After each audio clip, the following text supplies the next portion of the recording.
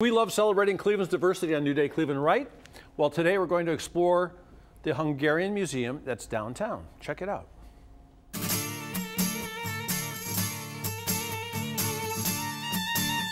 We are in the Cleveland Hungarian Heritage Society Museum and gift shop.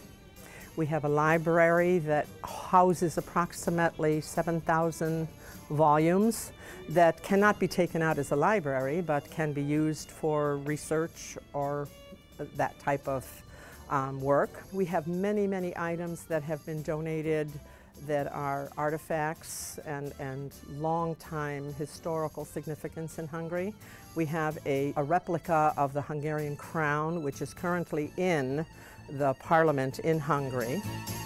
And the wall behind me is an exhibit that changes. Um, in October, we will have the 60th anniversary of 1956 revolution in Hungary. The Hungarian Heritage Museum has been in existence for over 30 years. It started actually in the basement of St. Elizabeth's Church on Buckeye Road. And at one point, the Hungarian community of, of Greater Cleveland had as many Hungarians in it that they had in Budapest, the capital of Hungary. St. Elizabeth's Hungarian Roman Catholic Church was the first Hungarian Roman Catholic Church built in the United States in the 1800s. We have programs where we try to um, inform the, the community and, and stay in touch with Hungarian community. We had one on genealogy this year. Um, we had one on Reconnect Hungary, where students have gone to Hungary and spent two weeks and had a, a strong submersion into Hungarian history and culture. We also have a Hungarian dance troupe, the Regos, which also come and perform here for programs.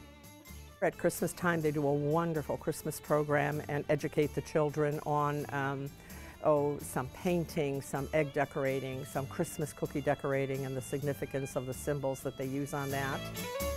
Our gift shop helps to support the museum. We charge nothing for people to come and visit.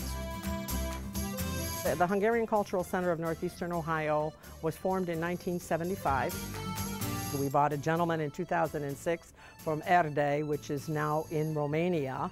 He hand carved and built our welcoming gate and it has two massive doors, and then there's a people door.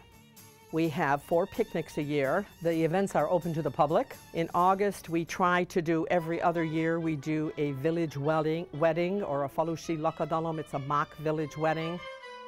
We also have in September, we have a fall festival.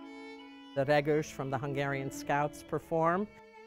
It is really heartwarming to see children um, when they can speak the language and you see them dressed in their costumes.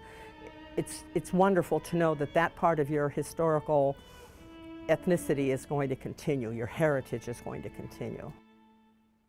The Cleveland Hungarian Museum is located in the Galleria on East 9th Street and is open Tuesday through Friday from 11 in the morning till 3 in the afternoon. Of course, you can visit their website for more information.